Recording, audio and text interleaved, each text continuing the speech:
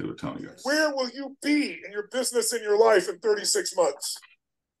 Not because you hope, because you decide.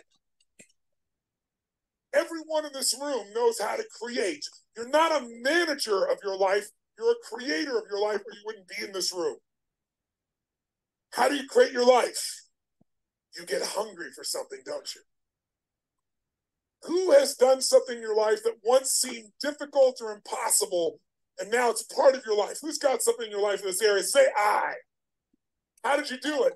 You created it three ways. Number one, you decided there's something you wanted so bad that you unleashed all your desire. You became obsessed with it. If it was a business or a car or a relationship or a transformation in your body, if there's something you once envisioned and now it's real, it's because you didn't just envision it, you brought so much emotion to it that now it's in your life. It was once a dream, it was once a goal, and now it's in your life. How many have something like that in your life now? Say I.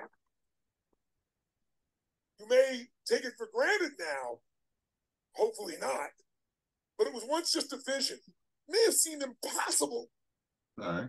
one time. So, how did you do it? Started with a concrete vision of what you wanted, and you focused on it continuously, didn't you? Wherever focus goes, energy Low. flows. You envisioned something, you got clear about it, and then you started thinking about all the reasons why you wanted it. You got excited about it. Said, This is what's next for me now. I want this. You may have dreamed about it, thought about it, talked about it. But when you focus on something continuously, something magical happens. You get insights, don't you? You overhear a conversation and you hear something you wouldn't have heard if you didn't have that outcome or goal that you wanted so badly. Who's ever come up with something, obsessed about it, didn't even know how to do it, and it just happened and it came together? Who's had that experience? Say I. So why don't we tap into that power now for your business and life? All right. So, power focus, guys. Power focus. So, uh, I'll just tell you some of the stuff that in the last 90 days I've accomplished. I wrote two books. They were the publishing company.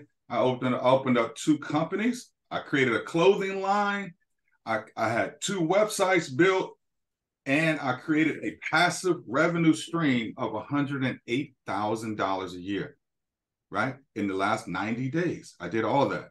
Two books, two companies, a clothing line, two websites, and passive income of over $108,000 a year, guaranteed until the until I die uh, in 90 days. So how did I do it? How did I do it?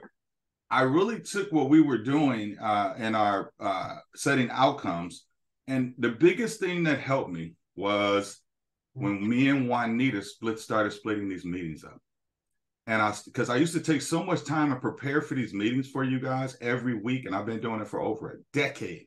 It would take so much of my time, but then I started realizing that only 10 to 15% of the people were really taking the